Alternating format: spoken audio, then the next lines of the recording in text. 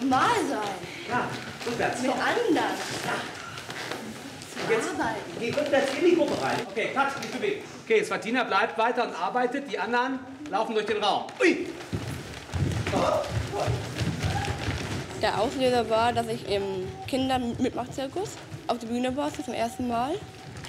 Und da habe ich für mich gespürt, dass, dass die Bühne für mich ist. Da habe ich, was- da habe ich was entdeckt, wo ich sage, wow, was ist das? Und danach bin ich meinen Weg gegangen.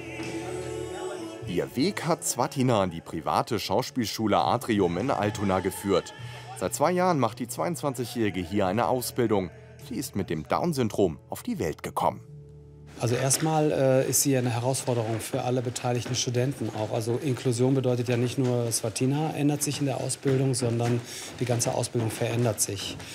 Äh, wie gehe ich mit solchen Menschen um? War Thema für unsere ganzen Schüler. Für die Zwischenprüfung lernt sie gerade Text für das Stück Das Käthchen von Heilbronn. Leicht fällt ihr dies nicht. Dagegen ist Tanzen ihre große Stärke. Ihre Körperhaltung hat sich während der Ausbildung verändert und sie hat mehr Muskeln aufgebaut. Sie macht Kampfsport, sie macht Yoga, sie tanzt, hat Tanzunterrichte, mehrere in der Woche. Das ist eigentlich das, was sie am meisten mag.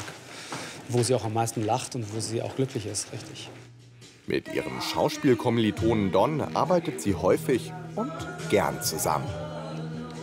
Am Anfang habe ich oft den Fehler begangen, dass ich äh, sie halt wirklich als, als Down-Syndrom-Mädchen behandelt habe. So von wegen, ja, oh, du armes kleines Mädchen, so, ich muss jetzt irgendwie helfen und dir gar nicht die Möglichkeit geben, als vollwertige Person aufzutauchen. Auch privat ist bei Smartina einiges in Bewegung. Zurzeit bereitet sie ihren Umzug von den Eltern in Hanstedt in Niedersachsen mitten in die Hafencity vor. Hier wird sie zusammen mit anderen behinderten Menschen und Studenten in einer Wohngemeinschaft leben. Für mich ist es ein großer Schritt, jetzt, jetzt in die Selbstständigkeit selber einzusteigen, sage ich jetzt mal, und dass ich Dinge selber, sel- selber machen kann. Nach ihrer Ausbildung möchte sie im Theater oder beim Film arbeiten. Rollen für Menschen mit Down-Syndrom sind nicht häufig, aber es gibt sie. Und Smartina hat bereits Spuren hinterlassen.